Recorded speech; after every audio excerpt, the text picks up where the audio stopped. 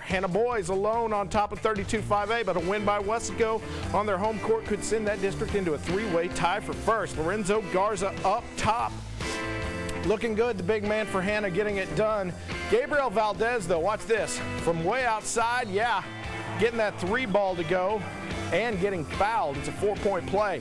Nick Villegas, he's also rushing towards the paint and yeah, outside, gets it to go. Yeah, a little bounce on the action there. And Weslaco ends up winning, and they win big. And it's a three-way tie for first. 56-52 uh, is the final there.